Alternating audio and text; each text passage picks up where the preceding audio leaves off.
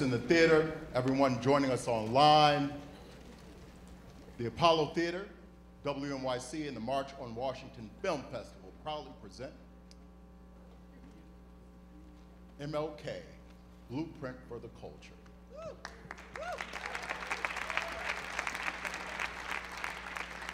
I'm Terrance McKnight. I'm the classical music host on WNYC's sister station, WQXR.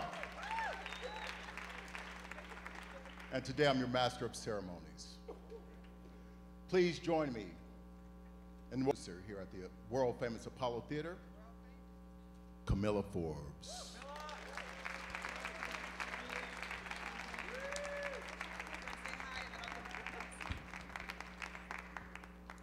Hello, everybody. How's everyone doing today? On this Sunday. Hello. Hi. Well, we are so pleased to welcome everyone here this afternoon because this is an afternoon of celebration because also we're in person. For the last two years, we've done this event virtually, so can we please recognize what that means and what we've had to overcome to get here, yeah? You know, we're pleased to welcome you this also this afternoon because today is a day of celebration and of reflection and of joyfulness as we remember Dr. King. Uh, we've missed you all. We've missed you all in these seats.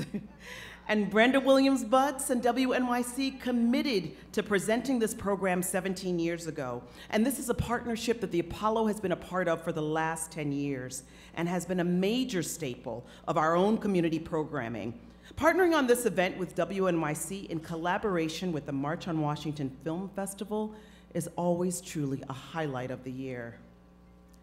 Now, today we meditate on how the civil rights movement has been the blueprint not only for the ongoing struggle for social justice in the United States, but also all over the world. Now, as I listened to Dr. King's speeches, you know, I was struck once again by how we are using the same exact language in 2023 that King, that Young, that Abernathy and others were using in 1957. Now, that was 66 years ago. Now, on one hand, I am angered and outraged and saddened by this reality. But on the other hand, I'm convicted to deepen my own resolve even further and recommit myself and this institution to this work of social justice and of equality.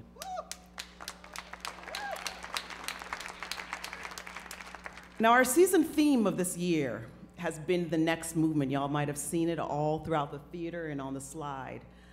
And the next movement has been a recognition of movement work in the historical sense, as well as the movements of the performers, of the writers, and of the thought leaders that we present right here on the stage. Now, they continue to tell the stories of struggle, of triumph, and of joy through music, through dance, through film, through literature, and through visual interpretation. But what we learn from these brilliant creatives and intellectuals night after night is that we can each change the world by changing the parts that we occupy. It's all about how we show up in it. Because Dr. King showed up for us over and over and over again. He showed up in Montgomery, where a movement was born, in Birmingham, where he sent us a letter in Detroit, where I Have a Dream originated, and in Chicago, where he tried but failed, in Selma, where a march led to voting rights, and in Harlem, where, were, were it not for Harlem Hospital, he would have died, and in Memphis, where the dreamer was taken. So I encourage you all today to show up. The dream, like the blueprint, is not ours alone.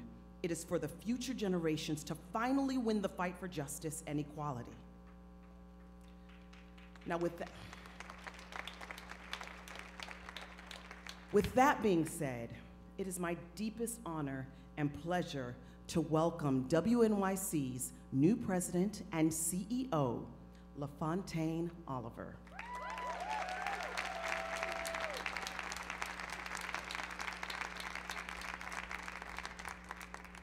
Thank you, Kamilah. And good afternoon, everyone.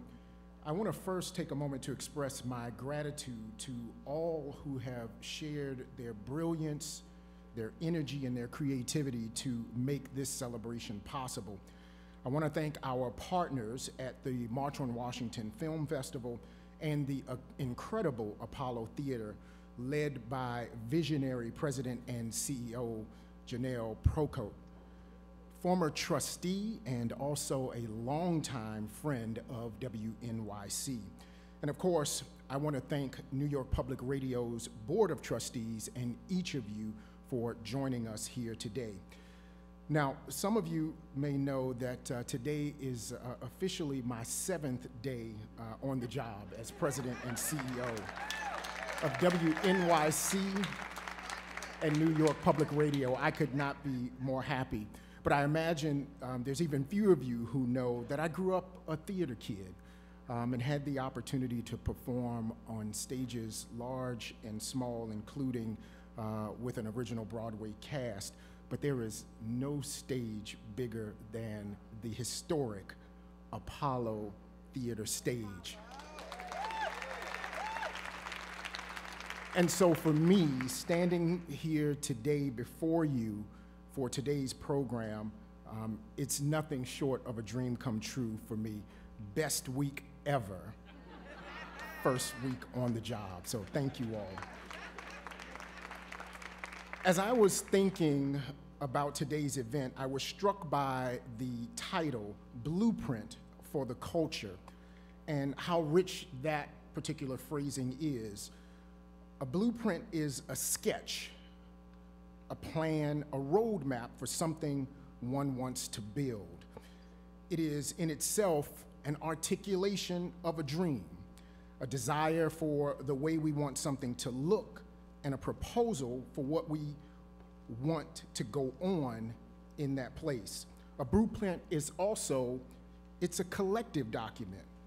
It's something that an architect makes in conversation with the people who are going to inhabit whatever is being built, and everyone else who understands the rules, the rituals, geography, the lay of the land, if you will, of where it is going to stand. A blueprint is also by nature unfinished, subject to revision as obstacles and opportunities emerge and plans change. Sound familiar? The teachings of the Reverend Dr. Martin Luther King Jr are in fact a blueprint, an endearing portrait of where we could go, where we should go as a society. They've been that way for me my entire life and for my entire career, and they remain so for the artists, thinkers, and activists that we're going to hear from today. So if I'm carrying this metaphor along, it is our responsibility in the media to be the drafting table on which blueprints can be built and the open forum where neighbors, experts, community leaders can come together and weigh in on the sketches, the plans, and those inevitable revisions. I'm also excited to be joining the team of New York Public Radio because this is our mission and mandate operating as the truly free and independent press that Dr. King knew was essential for a thriving democracy, and also enriching not only the head, but the heart and the spirit through rich cultural and music programming. Today, we have with us so many people who do the work of imagining new futures and working hard to build them, including two visionary thinkers who power New York Public Radio. Kai Wright, host of WNYC's weekly live call in show, Notes from America, every Sunday. Yes, give it up. And Terrance McKnight, host of our classical music station, WQXR, who is also about to release a new podcast, Every Voice with Terrance McKnight, focusing on the stories of marginalized figures in classical music. You all be on the lookout for that. So, thank you so much for joining us today. I'm delighted to welcome all of the WNYC and WQXR fans in the house And to those of you who have not yet engaged with us on air, online, on your mobile devices, I encourage you to check us out. The types of conversations and the performances that you're going to be hearing today are exactly the ones that we are trying to uplift every day on our airwaves. So now I have the pleasure to hand things off to someone who, in many ways, uh, whose footsteps I actually stand in, as she once hosted a radio program on a station that I later managed that every single day lived out the meaning of its call letters, WEAA, We Educate African Americans. Join me in welcoming Isisara Bey, Artistic Director of the March on Washington Film Festival.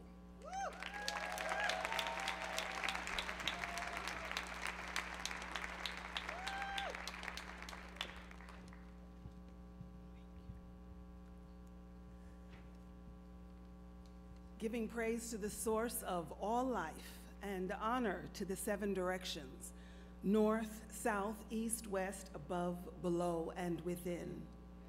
And to the cycle of life of African ancestored peoples, those who've gone on before, those living, and those yet to be born. Because they were, we are. Because we are, they will be. I rejoiced when I heard them say, Let us go into the Apollo Theater, this cathedral of culture. The March on Washington Film Festival is honored to contribute to this event. In our theme today, as you've already heard, blueprint, the word is used, and it also refers to legacy, the evidence of activism passed down from those directly involved during that period from the death of Emmett Till in 1955 to the death of Dr. King in 1968. Many films document the movement and movement makers. A recent one is Lowndes County and the Road to Black Power, which outlines a couple of points important in a blueprint. Number one, a movement is self-organizing. At its best, it is a grassroots effort so that the people most at risk have their say. The Lowndes County, Alabama voter registration drive was already galvanized by the people of Lowndes before the SCLC or SNCC came to town. Number two, that this movement is a continuum. Priorities and strategies shift over time. For example, did you know that the drawing of the Black Panther was first used in Lowndes County. It helped voters differentiate the candidates of the Lowndes Freedom Party from the all-white segregationists whose symbol was a drawing of a white rooster with the words white supremacy on the top, for the right on the bottom. After freedom candidates won some offices, the Panther symbol receded in Lowndes but rose in Oakland with the Black Panther Party. Three, leaders in the SCLC, SNCC, and the Black Power movement were divided over whether this is a moral fight or something more radical. Dr. King called his path militant resistance. He understood that we are all caught in a system of injustice and inequality. The six principles of nonviolence say that we must resist violence to the spirit as well as the body. That we recognize that evildoers are also victims. That all life is interrelated. Therefore, nonviolence seeks to defeat injustice, not people.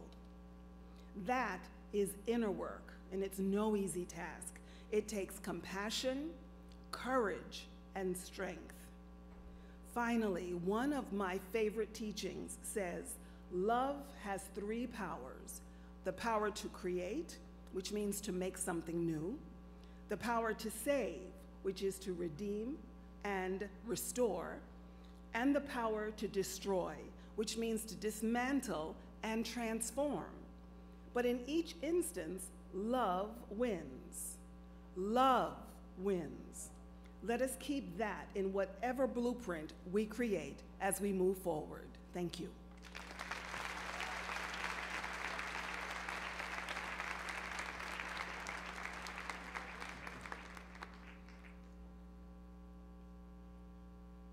And now, your host for MLK Blueprint for the Culture, Harlemite, host and managing editor of Notes from America, the WNYC Live Sunday Night Call-In Show and Podcast, Kai Wright.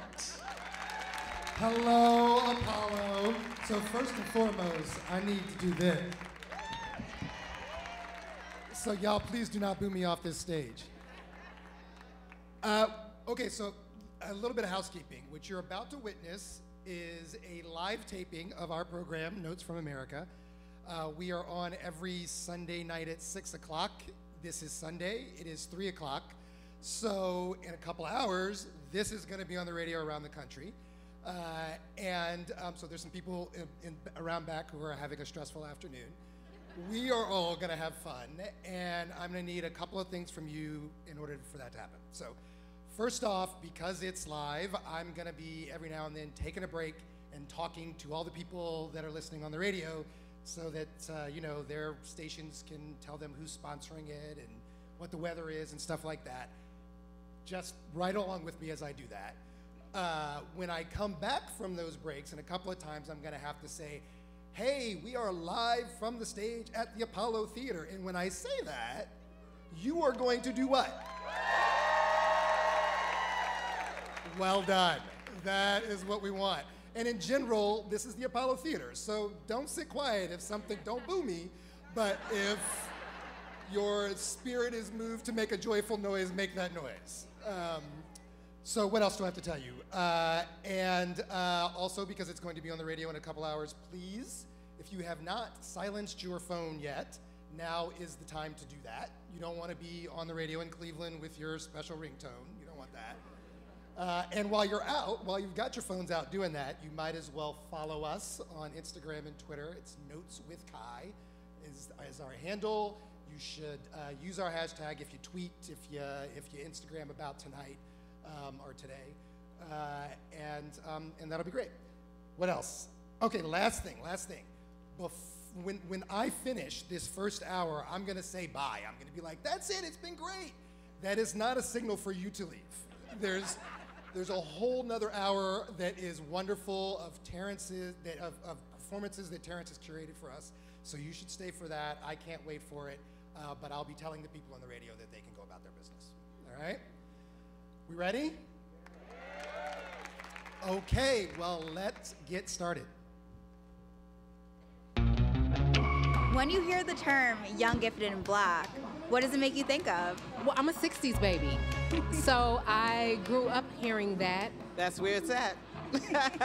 young, gifted, and black. That's what we are. We're young, we're gifted, we're black. It's a song by Nina Simone. I love the song. And it's a, uh, it's a testament to our contributions in society.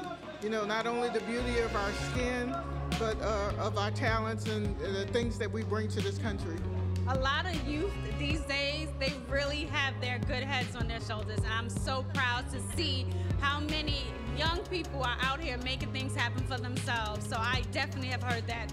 Young, gifted, and black, yes. yes.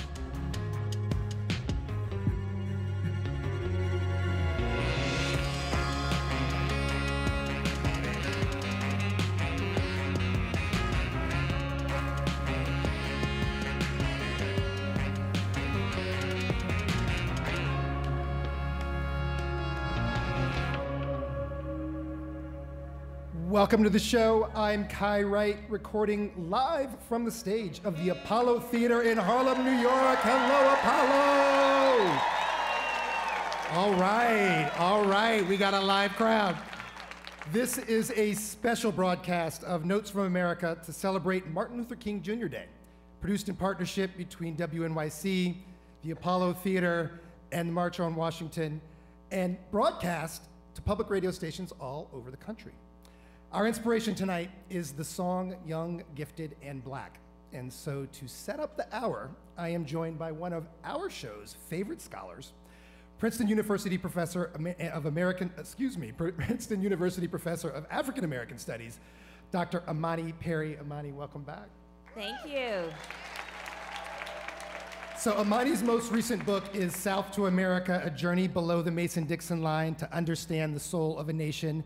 And Imani, when you were last on the show, I did accurately predict that you were going to win the National Book Award for that incredible work. Oh, so, wow. congratulations is due. Thank you. I feel like it's the closest I'm going to get to a National Book Award is to like tell Imani she was going to win. So, I'm going to just take that shine.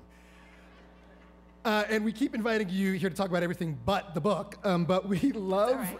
your work on playwright Lorraine Hansberry. Um, and that's important because our text is Young, Gifted, and Black. Nina Simone first recorded the song in 1970. It's really one of the great cultural artifacts of the civil rights movement. It's been covered by Aretha Franklin, by Donny Hathaway, by Common. Everybody's got a favorite version.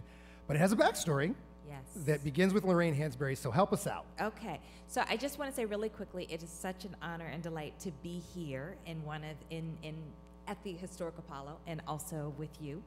Um, so Lorraine Hansberry was judging uh, a writing competition for the United Negro College Fund in 1964, and she delivered a speech.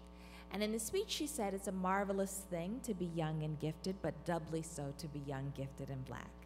And it was consistent with her vision of understanding that um, black, that black experience had actually given birth to an extraordinary tradition, not one of deficiency, but one of incredible resilience and brilliance. So they were gifted both in terms of their ability, but had been gifted with an, with a beautiful legacy, right? And so when and Nina Simone is one of her best friends, um, and after her passing, writes this song that in many ways is a dedication to her friend Hansberry and Hansberry's vision. What does it mean to you when you hear that song? Like when, when you hear it, and particularly in the context of that moment, like what are you hearing? Oh gosh, I mean, I so I hear it. I, you I was born in 1972, so I hear it in the 70s, right? In Mhm. a sense, this moment of um, of striving, of a kind of defiant, bold blackness, right? That the, that generation, that earlier generation, gave to us. So I hear the song as actually this song of a sort of keep on pushing, right? Um, and actually being inheritors of something. Uh, something that beautiful. generation, you, when you make reference to it, I think we forget that the movement, it was young. The civil rights Yeah. Oh, they were young people. It was a young thing, right? Yes. Tell us about the. I mean, if you think about, you know, so so King is, you know, emerges. Dr. King emerges as a fig. He's in his 30s, right? And Yeah. many and Hansberry is as well, and she's involved from a distance because she's she's ill, but she's organizing and raising funds for the movement. These are many of them are college students, right? And so they are actually taking the reins of envisioning a future. We used the language of, of blueprint um, earlier today, but taking the reins of a vision of black liberation are people who are between 18 and 22 by and large. Yeah. Yeah. Uh, for me, one of uh, your most affecting works is your 2019 book, Breathe, uh, Letter to My Sons. Thank you. Is it fair to say the book is, I well, uh, let me put words in your mouth and let you react to them. Uh, for me, uh, it's kind of an instructional to them on how to live in the world as young, gifted, and black boys uh, who are too often seen as something entirely different than that. Absolutely. I mean, I, I, I wanted, and it's for them, and it's, it's also for members of their generation broadly, and also for witnesses to see them differently, right? And the idea is that they um, are constrained in so many ways, but I want them to fly. And I Mm. want them to have, I want them not only to fly, but to soar. And I want them to soar knowing that they have a tradition to draw on. Um, and I want them to soar knowing that they are deeply loved and that it is a gift to have them in the world. You know, so often people describe um, black children, in particular black boys, as a problem. And I think that instead we ought to understand how much of a bounty it is to have them in our lives, right? And how gorgeous and beautiful and special they are. So, you know, that's the message. Yeah. There's a, a, a section in the book where you're talking about, like, oh, they're going to tell you you go to the bathroom wrong. and Yes. They're gonna, it, it, it's unbelievable the th- the messages Mm. right you're every every bit of their lives are often subject to criticism and it you know and there's a lot of research on it academic scholarly research but we know it intuitively right? The ways in which you're always picked at. And so you actually, it's not enough to say, don't listen to that. You actually have to, you have, we have to feed our young people with alternative messages, right? The, the re, they need to have the resources, the armor to actually enter a world that is constantly diminishing them. Yeah. How did, uh, yes, clap for that. How did, how did your sons react to, to this message in, in the book? So it's interesting, right? Because you write a book and it's an artifact, it's this thing that's out in the world, and then they're living with you day to day, right? so they don't actually care that much about the book. Um, because, it, you know, in many, and I was writing letters to them before I had, you know, before the idea of the book even came to be. So these are messages that are very familiar in a kind of, you know, this is this is the mother they have, right? Um, who's saying this stuff all the time. Um, I think it's a little, so it's a little strange. It's also weird because they were younger when the book Yeah, was written, yeah. right? And so now they're like, you know, they're 16 and 19. You know, they're like more fully formed, and people are surprised when they meet them. Like, yeah, that was a moment in time. But you know, they're, They're so going to be asked to study you in school. my younger son has had that experience already. Um, it's weird, uh, but but you know they're so generous with me. They're so loving. They're so supportive of my work, and so um, I, I I am so grateful for them. Yeah, so grateful. Uh, just to bring us back to the song for a minute before, I, I, just to tease, we're going to hear it. Um, so, Nina Simone, when she wrote it, was in a period of bringing the music to the bring, bringing the music to be, being the move, movement into her music, right? Um, and King's Murder had like deeply impacted her. deeply impacted her and we have and and you know it was the succession of of deaths right so lorraine her dear friend um, and then a couple of weeks later malcolm x right? And then so there's this succession of deaths. She's she has uh, emotional and psychological wounds. And so and i would just say really quickly Hansberry is really the person who, who pushed her to be politically engaged. She Mm. said, you know, Ni- Nina, There's you have to. also, as you told us before, Hansberry pushed Baldwin. Yes, to she be pushed. more Oh, yeah, left she well. pushed Baldwin to the left, and she pushed Nina Simone, saying your your work actually needs to be responsive to this political moment. Wow.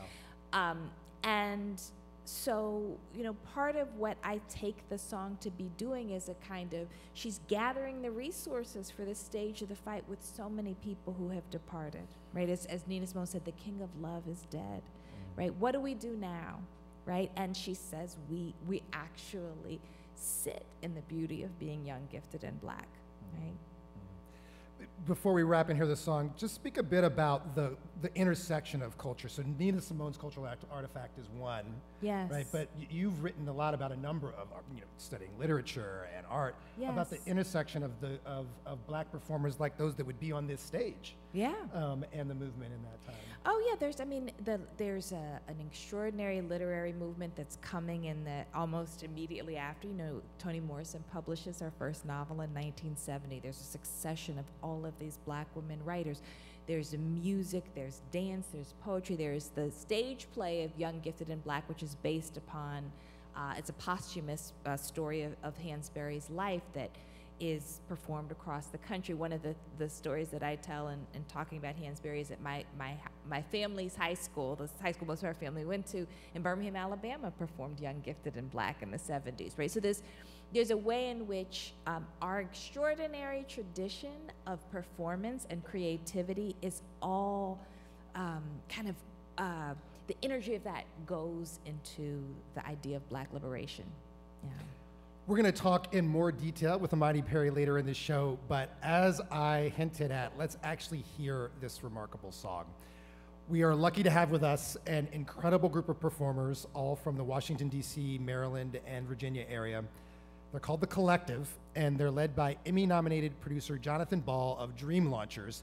They're going to perform their own arrangement of Young, Gifted, and Black, and then we'll take a break. And when we return, we'll meet one of the young, gifted, and black people inspiring today's racial justice movements.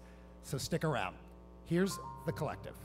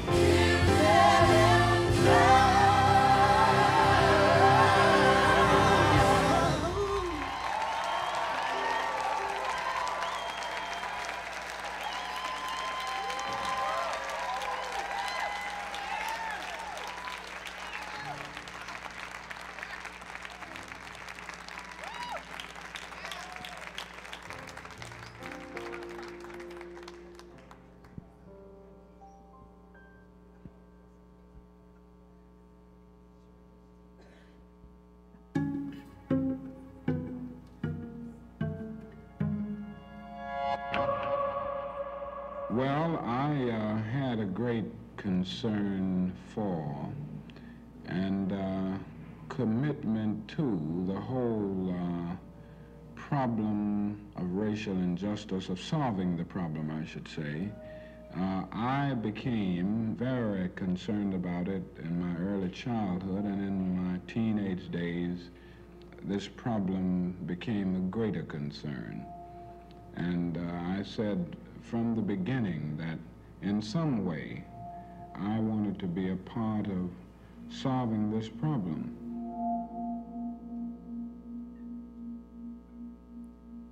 Welcome back. I'm Kai Wright, and that was, of course, Martin Luther King Jr. He was being interviewed in 1961 about his decision to join the ministry and the Montgomery bus boycott, which he helped to lead at just 25 years old.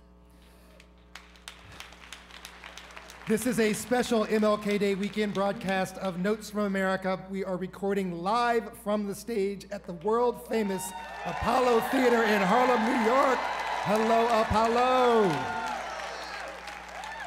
And I am joined now by Chelsea Miller, who, much like Dr. King, is a young person who has decided they need to make a difference in the movement for racial justice. Chelsea is co founder of Freedom March NYC, which is a youth led civil rights organization that emerged from the 2020 uprisings in response to George Floyd's murder. In cities all over the world, people filled the streets in solidarity for much of that historic summer. And while the outpouring was in some ways spontaneous, it also grew out of organizing and work and planning from people like Chelsea, many of them quite young. Chelsea was a recent college graduate at the time. She helped coordinate the movement here in New York, and that was neither her first nor her last experience organizing and advocating for social justice she has been particularly interested in the lives of, and experiences of young women of color. And thank you so much for joining the show. Thank you for having me. Uh, can we start with the song we just heard? What, what, what's it mean to you to be young, gifted, and black? When, when you hear that song, how, does, how, how do you hear that? Every time I hear it, it moves me. Every time I hear it, it makes me sad mm. because to know the life of Nina Simone and also to know that that song within and of itself is an act of resilience. And what is it about being young, gifted, and black that is also a cry for liberation? And that's because of a narrative that has told us that we are none of those things. And so, how do we defy? How do we show up?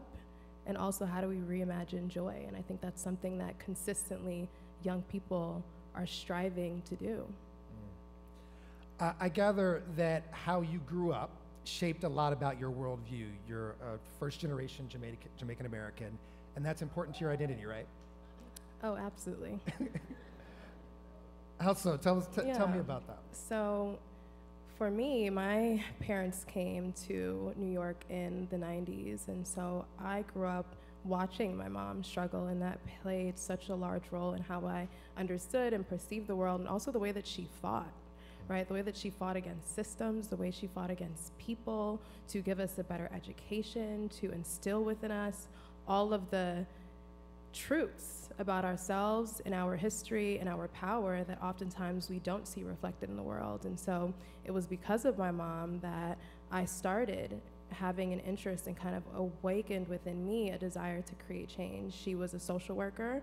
Um, she came to New York, and a lot of what she did was in the space of helping young girls of color. When I was about 11 years old, she turned our two family home into a group home for young girls, and so I grew up with foster sisters. And seeing that, and a lot of, I mean, what was, the, can I ask you, I mean, what was that like to suddenly share your mom in your home with all these new people? My mom's Jamaican, so distract her for me.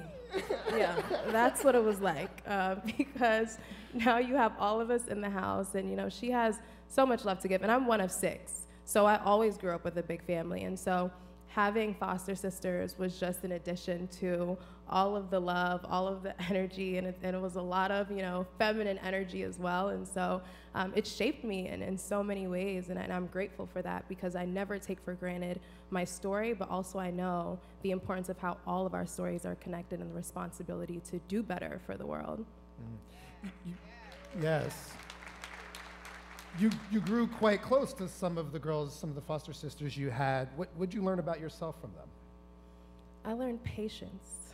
I learned patience because the thing is, you have to remember that for a lot of people, love is something that we have to learn. It's not something that's innate, right? There's certain levels of attachment styles, there's certain levels of how you understand and experience the world. And so, for a lot of my foster sisters who are coming into our home, that was the first time that they were experiencing having a parental figure, experiencing having a structured family unit. And for a lot of times, that scares you because you're afraid that it might be taken away or it's abnormal this idea of rules and you know i have to be home by eight o'clock and all of these things. And so it wasn't this idealized version of you know kind of like full house. That wasn't it. It was a constant push and pull of redefining and reimagining consistently love right? And like what is that rooted in? And that was how i reimagined, just thought through sisterhood and all of the things that ultimately would go into defining how I showed up in the world and the things that I would create as a result of that. Mm, that's powerful. Take me to May of 2020. Um, you were just out of college, uh, if I'm right. Uh, you already had lots of experience with social justice work. The city was totally shut down. Um, the pandemic, if we recall, had, had really was just getting underway and news breaks of George Floyd's murder. What were you seeing at the time that made you, as an individual, want to act? When you know your history, there is something extremely dangerous about that because you know what's going to happen before it does. And so, as I was watching the way in which everything was playing out on our phones and our TVs, I said, this is going to be a narrative that says that we were complicit and we were silent. And the reason was because so many of us could not go outside. And I made that decision that I was going to go regardless. I was going to go in spite of the fact that we were in the midst of a pandemic. I was going to go in spite of the fact that there wasn't much structure taking place. And in spite of the fact of what the TV was saying, there's looting, there's rioting, there are hoodlums, there are thugs. We are none of those things. We have a right to exercise our First Amendment right. We have a right to hold this country to account because it has never been held to account we have a responsibility to stand on the right side of history every single time. And so we went outside, and the first night that I went out, it was mayhem, right? Because there were agitators in the crowd, and if you have studied the civil rights movement, you know that this is normal. There were folks that were trying to get um, protesters to break into one of the buildings in downtown. The issue was that with that was the fact that there were a lot of young people in the crowd. Now, if there was going to be destruction of property, there were dozens of police vans. It would be young people, kids that would be hurt first, that would be shot by rubber bullets, that would be sent to one police plaza. And so we knew that we had to get a message out that night, but it was very difficult that was when I came back the next day with a friend of mine, Nyla Dari, and my sister, Nia White, who was 17 at the time, didn't even graduate college, high school yet. And we organized the first protest for Freedom March NYC, and that's literally the name of it, Freedom March NYC. It was on May 31st, 2020. It was on the 99th anniversary of the burning of Black Wall Street. And we posted the flyer at 12 p.m. on Instagram, and by 8 p.m. had organized one of the largest demonstrations to take place in New York City that evening. And can I stop you there because so for the majority of us who have never organized a mass action of civil disobedience, um, like literally what do you do? Um, you know, what is the step from the realizations you're describing to what we all witnessed and participated in? Like try to make that um, tangible and relatable to somebody who's like, I would do that, but I don't even know where to begin. You have to have the stomach for it, I'll tell you that. Mm. Um, but I would say that you have to know your community. You have to know who is going to stand with you. You have to know what you want to say. And you have to create something around that, right? We've organized sit ins, we've taken over bridges, we have done things that honestly a video camera should never even be there for, right? Because the part of disruption that a lot of people don't understand is that social media can't encompass it. Social media is a tool, it's not the tool. And so when we posted a lot of our actions on social media, that was to get everyone to come to a specific location, right? Um, I also want to use this opportunity to pay tribute to so many of the organizers of 2020 because Freedom March NYC could not have done it alone, and that's why I said you need your community. We had sister organizing groups. We had the bikers who would make sure that they stood in front of cars as they were coming. One of the bikers were actually killed in 2020 as a result of one of the protests that happened. Everyone within our community we knew. And because of that, you become responsible right? And I think that accountability is also so important in organizing and that realization that, of course, it's a centralized movement, but in a lot of ways, it's supposed to be decentralized by design because if anyone's ever heard of COINTELPRO, then there's no surprise as to why we structured 2020 the way that we did. I, ironically, because so many people had rushed to help in Minneapolis, that left um, what I've heard you describe as a vacuum in other mm-hmm. cities like New York, and you noticed that. Describe what that looked like and what you mean by that. Yeah, so there was a vacuum, right, in New York City because so many people were going to Minneapolis to stand in solidarity with the George Floyd family. And as a result of that, Minneapolis, right, became kind of ground zero. But at the same time, there were so many protests breaking out across the country. And so, who were the organizers that were doing that? And so, we had a lot of, of friends and just folks and comrades who were organizers, right? And so, for us, we said, okay, how can we support? And we did not know that an organized, because the plan was to hold down the fort in New York City until they came back. but we had no idea the way that the movement would respond to Freedom March NYC. And it was so much bigger than us. And I think that the reason for that was because it was so unbelievable to see young black women take up space in the way that we did. Mm. And that inspired so many other black women organizers that came out of 2020. I have a friend who may be here today, her name is Kim, and she um, started an organizing group. And she said that she remembers walking out to one of the protests one day and just hearing like some young black woman on the megaphone. She was like, who the heck is that, you know? and after that, she was like, okay, if they can do it, then I can do it. And if you know Kimberly Bernard, she is one of the most prolific and most incredible organizers that have come out of 2020 in New York City. So I, I embedded in that, I was going to ask you, like, what were your expectations at the time? Like, did you say, you know, if we can do X, Y, and Z, this will be worthwhile. Um, it sounds like it was like we just want to hold down the fort. Um, but yeah. beyond that, I mean, what were you on the front end? What were you expecting or thinking? So it became we wanted to hold down the fort. to we saw the ways in which historically this has always happened that Black women were being intentionally pushed out of conversations and pushed to the margins of movements. And so initially it was we're going to hold down the fort, but then it was like actually, no, we're gonna stay here. yeah, we're gonna stay here because what's not gonna happen is what happened in the 60s. What's not mm. gonna happen is what's historically happened where black women have built and carried movements, and when it's time for people to come and say, who did it, they were sent to the kitchen. No, no, we're not gonna do that. And so what we did was that we created a safe place for other black women organizers to also be seen, to be resourced, and to be given a platform to do so much incredible work. Because the truth is that a lot of the organizations, of course, incredible the work that they've done, but there's an intersectionality piece that always has to be talked about.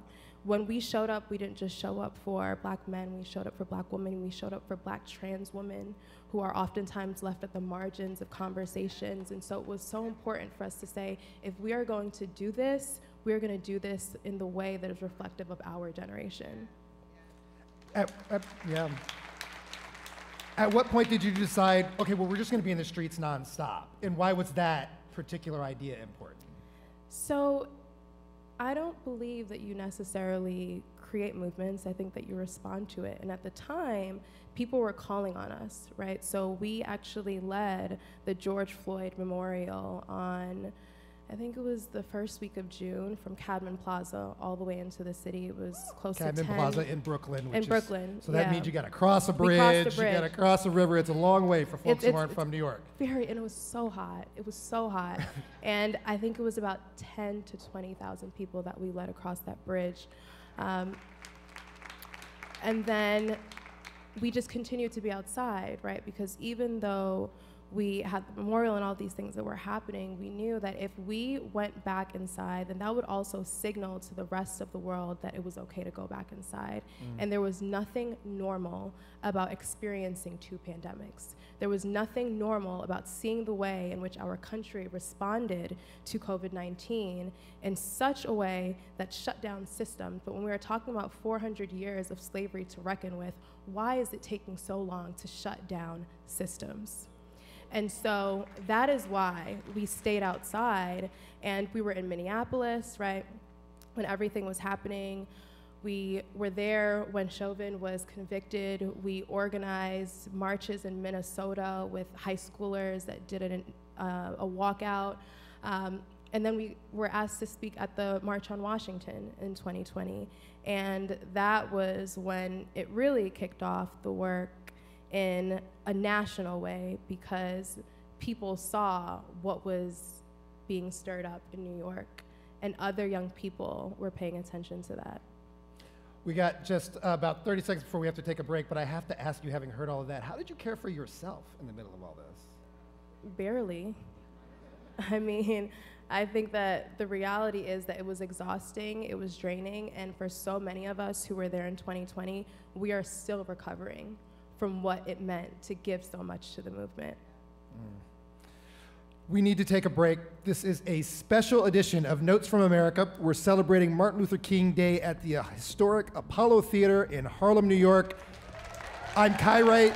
I'm talking with Chelsea Miller, co founder of the youth led civil rights organization Freedom March NYC. When we come back, National Book Award winning scholar of African American Studies, Imani Perry, will join us again. Stay with us.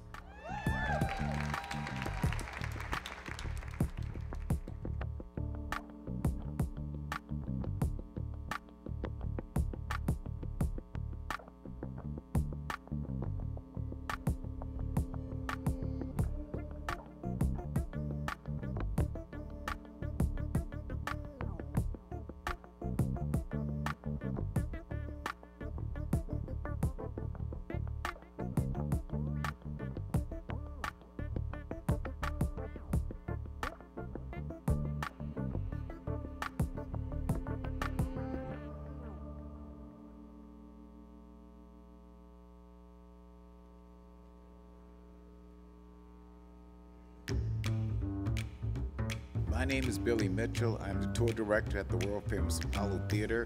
I'm the in house historian. I'm the Apollo ambassador.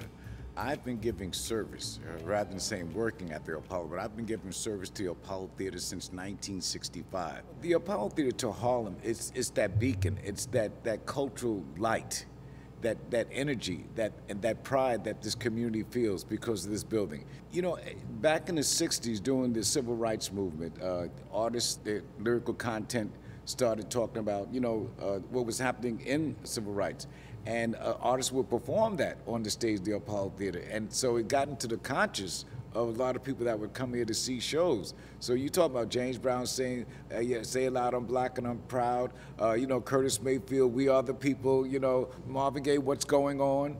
So these these messages of, of hope and, and activism were expressed in lyrics and in performances on the stage of the Apollo Theater. I don't recall Dr. King ever coming inside the theater. However, in 1958, across the street from the Apollo Theater, Blumstein's department store, uh, Dr. King was stabbed by a deranged lady in his chest.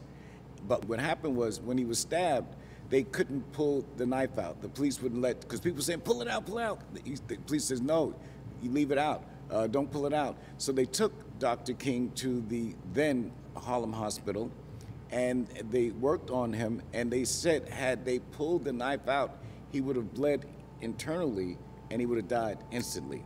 So Harlem saved Dr. King that day. Welcome back. I'm Kai Wright, and this is a special Martin Luther King Jr. Day broadcast of Notes from America, live on stage at the world famous Apollo Theater in Harlem, New York. It is a really fitting place for us to gather in conversation about racial justice movements, both past and present. I'm talking with Chelsea Miller, co founder of the youth led civil rights organization Freedom March NYC, and we are now rejoined by Imani Perry, professor of African American Studies at Princeton University. Imani, welcome back. Thanks. So, Imani, as a student of all these movements, uh, Mm. past and present, uh, where do you see continuity between today's movements uh, and the civil rights generation, and where do you see them depart from one another? Uh, I mean, I think you know the continuity is found. I, I love the example that Chelsea gave of, of the impact of her mother. That we actually that we inherit legacies, right? And whether or not we're talking about organizers, we inherit a sense of civic and social responsibility, and that that fuels the the the work of subsequent generations. Um, and so I let you know, for me, tradition is really important, and I think we see that present. Um, I also think, but but the but some of the distinction really is also resonant with something um, that Chelsea said, which is a refusal to be um, so concerned with uh, respectability or conventional ideas about who should be at the front of leadership, who sh- what what the face of in particular Black America should be um, a refusal to succumb to that so that all members of the community can be not just served but recognized as relevant for the cause of liberation. That is something that this generation has pushed forward in a way that I think should be an inspiration for all of us and that I hope that we carry forward into the future. Indeed. What about you, Chelsea? I, I know that you have thought often about previous generations of activists. You talked about it some already. Um, what do you take from the civil rights movement, and where do you think today's movements need to depart from it? Shirley Chisholm, Fannie Lou Hamer, Ida B. Wells, Lorraine Hansberry, Nina Simone, Billie Holiday, ooh, black women. So, in response to that, I would say stories that need to be told, trauma that needs to be unpacked, legacies that need to be built, and testimonies that need to be written. And so, when I see the civil rights movement, First of all, the civil rights movement wasn't the first movement for racial justice that existed in America. We love talking about it, Indeed. and I'll talk about it forever, but let's be honest, it's been a 400 year fight. So the reality is that when we talk about the institution of slavery and the ways in which black women have carried the family units, when you talk about the ways in which black women experience trauma in slavery, we have stories to tell. Mm-hmm. And so I think that for this generation, I see that we are, to the point that you made, reimagining everything all together. It's very clear that a lot of the narratives that we've received have been spoon fed, right? I remember when I learned about Martin Luther King, it was always juxtaposed to Malcolm X. I don't know why. It's different strategies ultimately trying to achieve the same goal. And so I think for us, we've learned from history, we have recognized our power, and we've also said that we can do this as a leaderless movement because the truth is, all of us have stories that need to be told. And I think that is where our power as our generation has come from. I also wonder, Imani, about this the leaders list. One of the things we often hear is like lead, the, the past movements were so leader driven, future movements are, are leaderless. Is that a true divide? I mean, that when, when, I, when I think about previous movements, they were, they were, they were quite community driven as well, right? I mean, help me with this. Absolutely. I mean, I think that this is, well, I think the distinction is really between organizing and moments of mobilization. So you hear, I mean, one of the things that I think is uh, is consistent when movements have been effective is that they come out of the organizing tradition, which means that one has to recognize that all of the participants are relevant, right? The people who are actually were running the mimeograph machine, the people who were cooking the food for the movement, the people who actually held safe spaces for those who were on the front lines. I think that part of what has happened, though, the transition, is that there is an explicit acknowledgement that all, so it's not just that this Mhm. is what was required to organize, but actually that we're going to make clear that these, all of We're these gonna name it. participants, yeah, we're going to name it. And also we're going to resist the desire, and this is actually, a lot of this is external, the desire to appoint individual leaders. And we have seen the negative consequences, right, of making, of naming movements as though they are uh, uh, solely a function of leaders, individuals, and, and, and cannot continue without them. right? Assassination is amongst the consequences. Assassination and also co-optation, particularly Mm. now. Yes. Right? People get bought, right? And you, so movement has to be able to sustain itself even if someone winds up being seduced by the glitter and glamour, right? Um, and so that, I mean, so, so it's not, it's not as though there's something, this is wholly new, but actually a kind of sophistication about Mm. how we talk about what it is that we're doing. A lot has happened in the nearly three years since May of 2020. Um, and to some of us, Chelsea, the promise and revolutionary energy of that spring and summer feel distant, depressingly. Um, and I just wonder how you feel about where we're at politically. Um, as someone who is, one, was so involved, and two, who has such a sophisticated understanding of it, what would you say to us, those of us who feel like, wow, that, what happened to that moment? Mm. The civil rights movement existed for over a decade.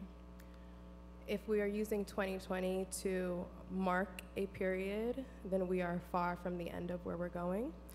I think that we have to be realistic with what happened in 2020. It was a movement that sustained itself for over a year. I know organizers that were on the streets up until the elections and beyond. And so I think that when a lot of people say that the energy has waned, I think that the energy has went into hibernation. I think that the energy is recovering. I think that the energy is finding joy. I think that we are redefining for ourselves what does change look like, not as it's connected to systems, but as it's connected to how we rebuild and sustain our communities. And I think that if you're looking to see where the energy went, then you have to see where people are going. And I see a lot of people creating change locally. I see a lot of organizers who are now running for office. I see a Mm. lot of organizers who are using abolitionist frameworks to reimagine all sorts of systems. And I am energized by it. And I think that we are at a pendulum point within our country where the next couple of years will ultimately define what the next 10 to 15 years look like. And so we are just in the beginning. And that's exciting. Okay, okay. And I, and you know, to be clear, I'm thinking less about the organizers' energy and more about sort of just the the political conversation in the country. You know, um, and you know, and Imani, what do you? I mean, you, you, uh, this is a good point that Chelsea's making about like the civil rights movement was not a year long. Um, it was not two years long. The, the fight for racial justice indeed predates the existence of the United States. Um, what lesson would you take from history as to where we're at right now in the political conversation? Mm. I mean, I think the the honestly one of the, there's a couple of them. but A primary lesson is that movements can't be held hostage to um, electoral cycles, and so there's a way that. you know the the that election seasons can suck a lot of the energy out of the room, um, and we have to resist that that uh, that uh, prospect. Um, I also think you know racism is in style right now. in a big way, it is.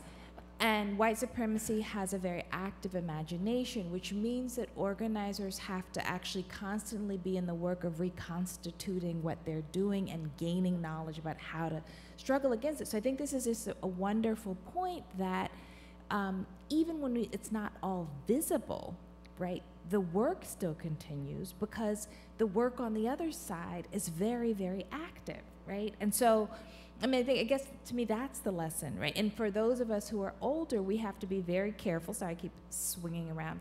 We have to be very careful um, about not saying, "Well, we don't see anything right now, so you guys have lost energy." You know, they, no, they're doing the, the work doesn't happen that way, right? The work actually requires quiet time, reflective time, healing time, right? Um, and we know that historically too, right? There are years that are the big years, right? A lot happens between those those big years.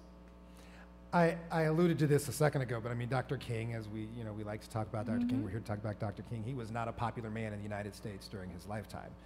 Uh, he was, in fact, assassinated. Yes. Um, that is a thing we tend to forget in these memorials.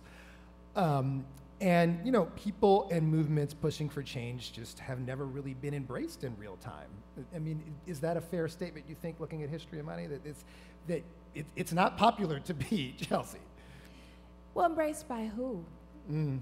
right? Because it depends. Because I think that's also a question of the audience, right? The peop, I mean, you know, what mat, you know, you know, what matters is who you're working for, right? The people matter, right? Um, so I would say yes, and the people know if you love them or not, right? What do you think, Chelsea? I mean, it's because also I'm thinking about when I asked you earlier about how you care for yourself, how you sustain yourself in this work. Um, how do you think about um, the way the work is received? Um, is it what Imani's saying, or is there something more to it? I think that even the way that it's perceived is a strategy, right? Mm. Um, you go on my social media, the social media isn't the work. The work is the work. And so I think that it's really important for us to understand that it's not necessarily about popularity, it's about what you can achieve with the tools that you have. Um, a lot of times, you know, we use various platforms to get a message across, or we use um, comrades to disseminate information. And so I would say that if it's popular or not, the work still has to get done. And I think that we are shifting our generation, and I think you'd be surprised to see how popular it is nowadays to really think about how we want to disrupt the world. I think related to this, you made a, a- remark earlier about defining your own liberation. Um, Mhm. say more about that. What do you mean by that? I think that we are used to the narratives of the martyrs because that was the tactic that was used to silence us. And I don't think that black liberation has to be tied to trauma. I think that it should be tied to joy. I think that our love, I think that our history, which to your point, Kai, exists way beyond when we got to these shores of America, I think that it's beautiful. Mm-hmm. That's why I spend a lot of time traveling to Ghana. I actually flew from Ghana to come to this event today because it's a responsibility to connect the conversations of blackness in the diaspora and understand that we are our own liberation, not defined by whiteness or white supremacy, but defined by our ancestors. Chelsea Miller is co founder of the youth led civil rights organization Freedom March NYC. Imani Perry is professor of African American Studies at Princeton University. Thank you both so much for this time. Mm. I'm Kai Wright. This has been a special broadcast of Notes from America celebrating Martin Luther King Jr. Day and recorded live on stage at the Apollo Theater in Harlem, New York. We leave you with one more song from the collective. This is a wonderful group of performers from Washington, D.C., Maryland, and Virginia. They're led by the director, Jonathan Bell of the Dream Launchers, and they are going to sing their own arrangement of Lift Every Voice and Sing. Thank you for celebrating with us.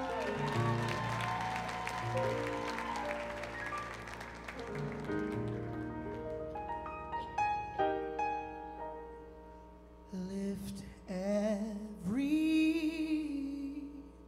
voice and sing till earth and heaven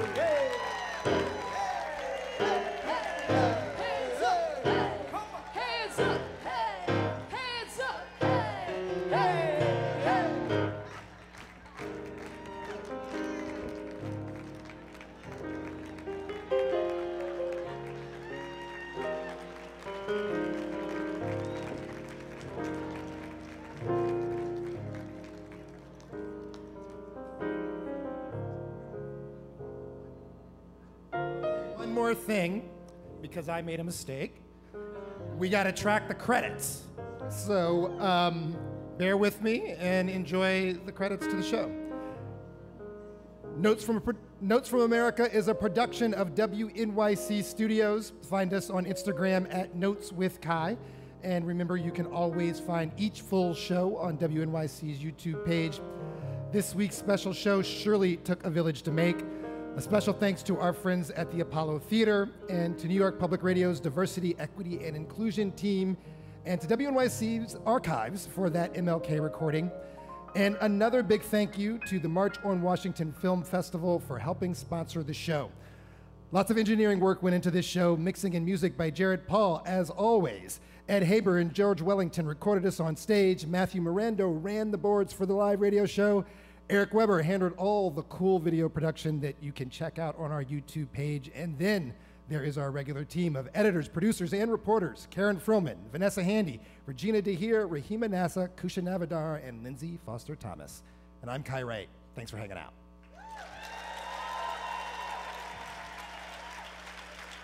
Kai Wright.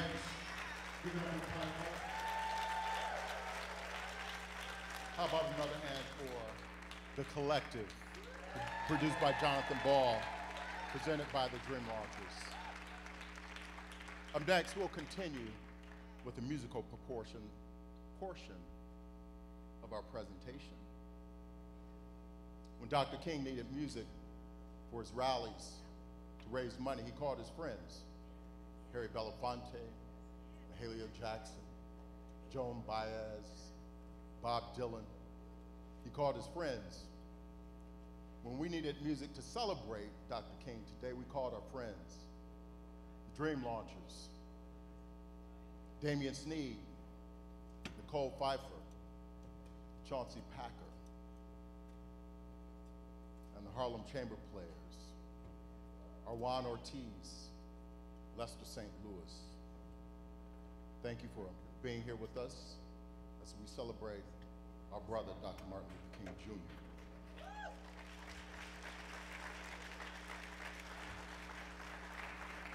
We continue now with In Memoriam. To all the fallen civil rights heroes, heroes, activists lost over the last two years. It'll be read by WNYC's Brian Lehrer. They'll be accompanied by the Harlem Chamber Players.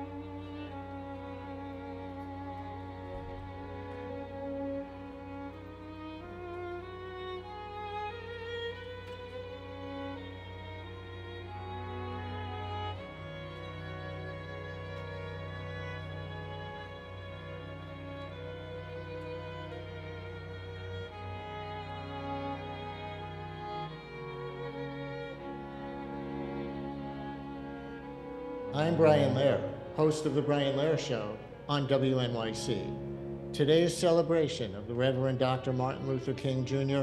marks the first time that we are back at the Apollo Theater for this since 2020. And though I am not physically with you today, I am definitely here in spirit and now in memoriam for the many civil rights activists we have lost in the last two years. Clifford L. Alexander, the first black Secretary of the Army and Chairman of the Equal Employment Opportunity Commission. The Reverend Calvin O. Butts III, dynamic Harlem pastor who led the Abyssinian Baptist Church. Reverend W. Sterling Cary, the first black leader of the National Council of Churches. Doris Derby, an educator, artist, activist, and civil rights era photographer. Rabbi Israel Dresner, civil rights champion and king ally, following the Jewish doctrine of Tikkun Olam, to repair the world.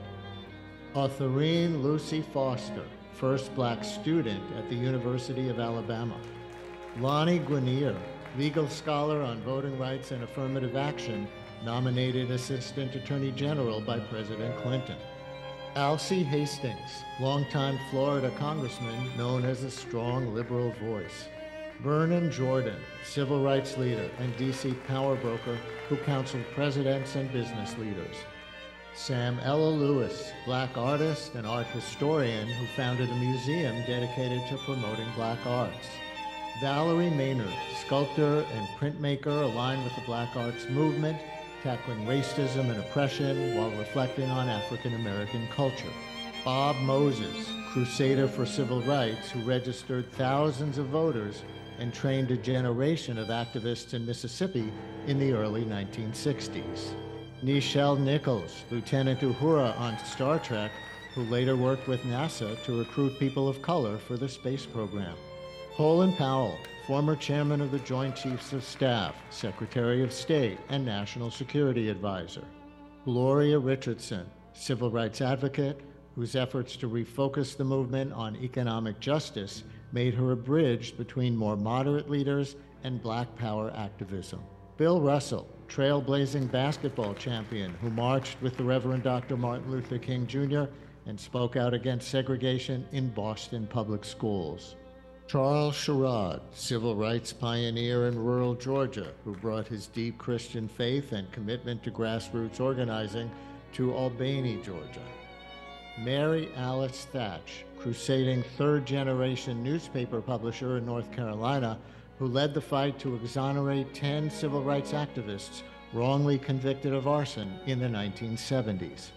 Lucille Times, inspiration for the Montgomery bus boycott, who stopped riding the city's segregated buses six months before Rosa Parks refused to give up her seat. Franklin A. Thomas, groundbreaking Ford Foundation president, the first black person to run a major American philanthropy. He revitalized it, shifting its focus to poverty and education. To those mentioned and the countless others who contributed to the ongoing struggle for civil rights, we honor you. In keeping with African tradition, Ashe.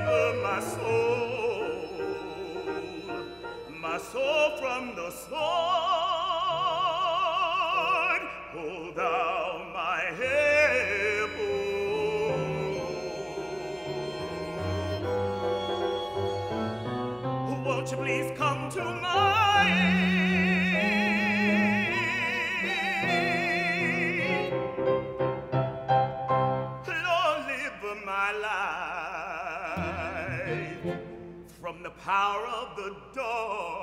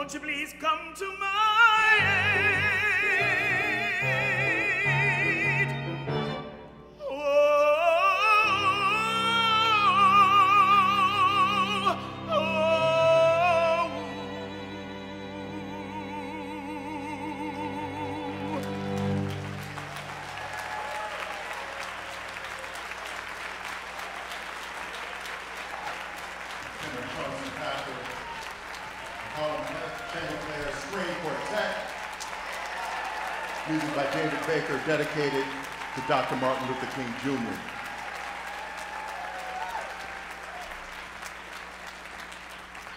This is MLK Blueprint for the Culture. Next, we welcome Dr. King's favorite song. He requested this song time and time again. One of the early gospel hits written by a young man named Thomas Dorsey shortly after moving to Chicago. The father of gospel music. He embraced Mahalia Jackson, who made this song famous. It was sung at Dr. King's funeral. It was sung at the March on Washington. Sung at rallies to raise money to get protesters out of jail. It was written when Dorsey's child was lost in childbirth. And he said these words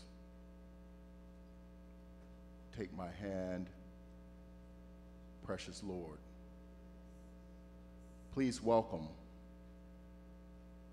the multi genre recording artist, instrumentalist, the last accompanist for Miss Aretha Franklin, pianist Damien Sneed, and vocalist Nicole Pfeiffer, performing Thomas Dorsey's Precious Lord, Take My Hand.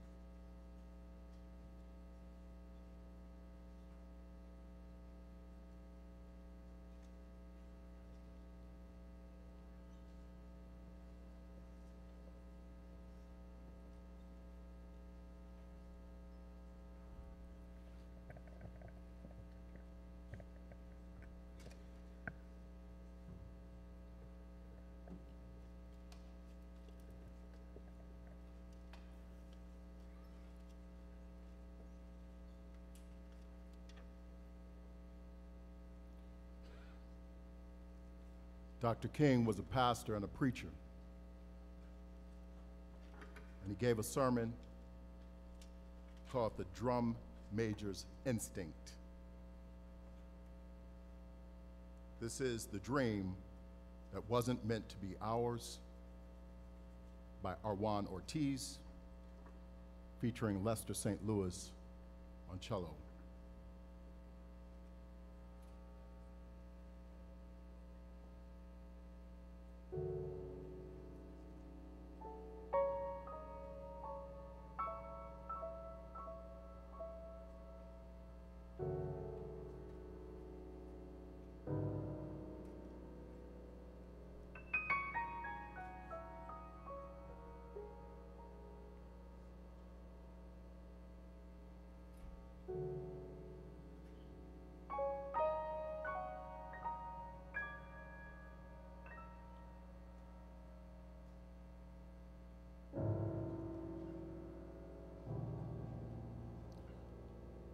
We all have the drum major instinct.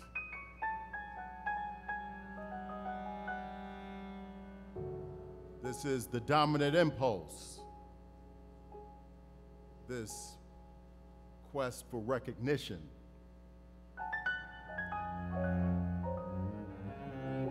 This desire for attention. This drum major instinct.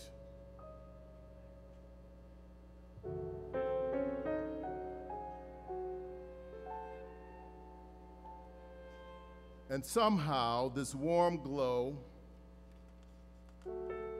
we feel when we are praised, when our name is in print, is something of a vitamin A to our ego.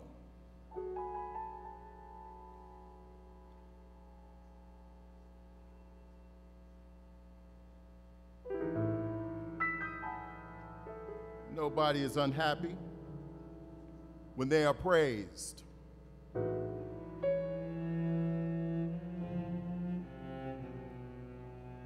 Even if they know they don't deserve it.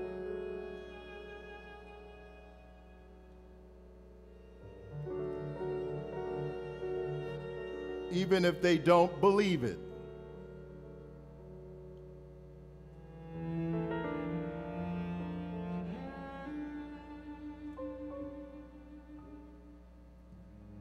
but everybody likes to be praised because of this real drum major instinct.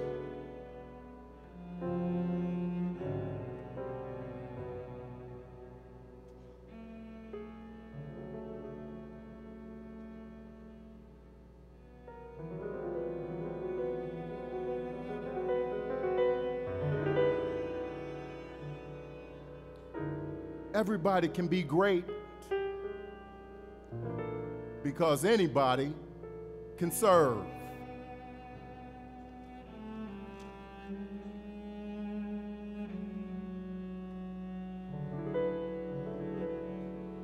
You don't have to have a college degree to serve.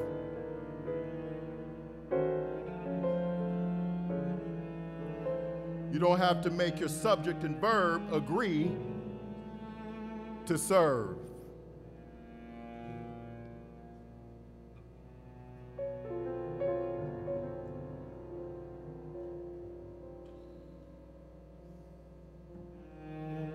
You only need a heart full of grace and a soul generated by love.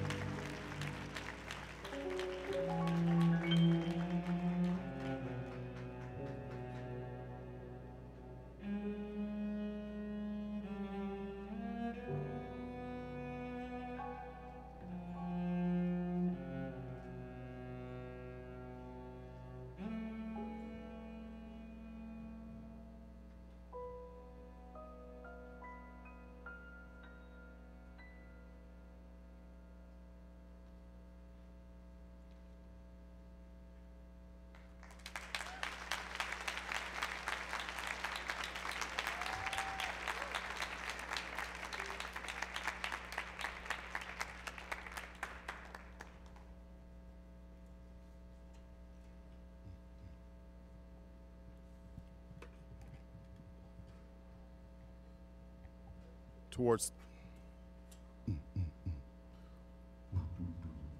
towards the end of Dr. King's service.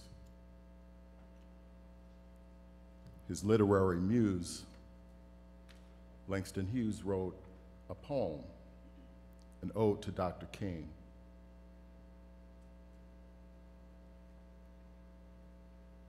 These men inspired one another. They traveled to Africa together.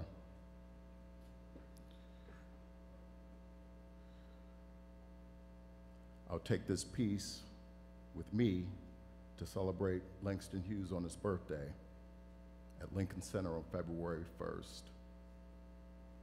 We give it to you now. This is demonstration.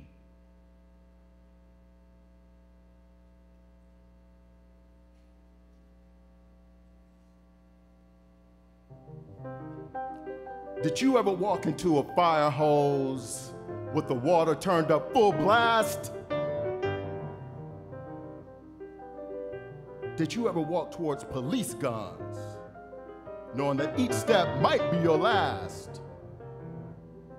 Did you ever stand in the face of snarling dogs and not move as the dogs came? Did you ever feel tear gas burn your day, your night, your dawn? Your dawn when the world is a rainbow hue. Your dawn when the guns are no longer aimed at you. Your dawn when the cops forget their jails.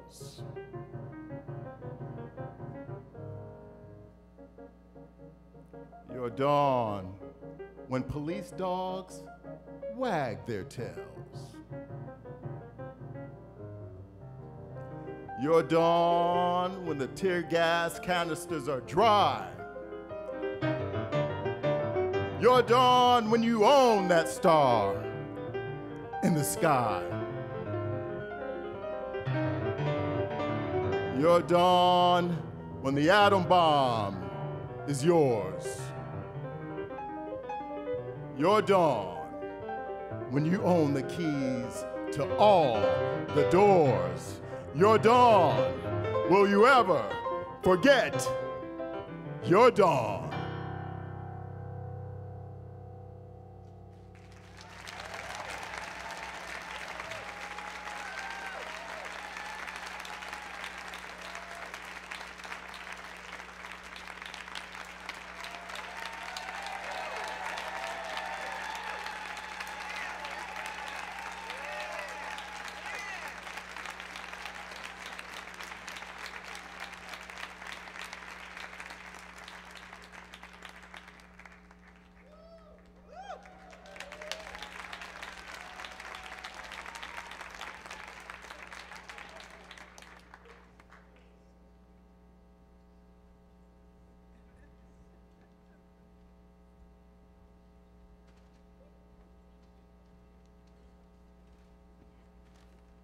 More time for Langston Hughes and Dr. King. The Harlem School of the Arts dancers joining us for that piece. We trust that you've enjoyed MLK, the blueprint for the culture. It's our celebration of Dr. King. This has been a presentation of WNYC, the Apollo Theater, in partnership with the March on Washington Film Festival. And we're going to close with our finale performed by a group that serves as a social impact initiative and source of global entertainment. Apollo Theater. These young folks were performing earlier at Red Rooster.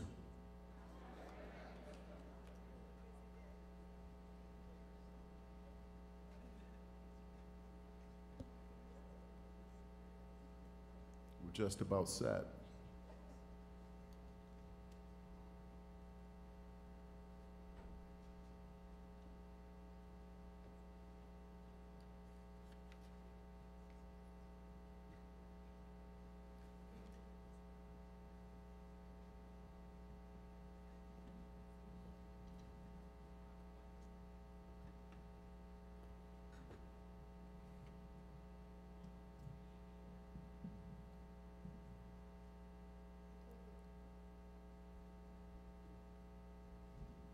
please put your hands and hearts together for Sing Harlem Choir.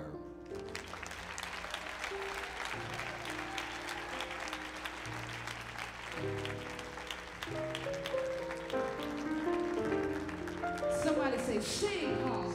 Sing Harlem.